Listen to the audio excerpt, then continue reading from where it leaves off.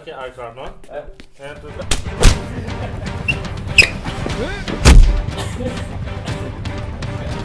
to, tre.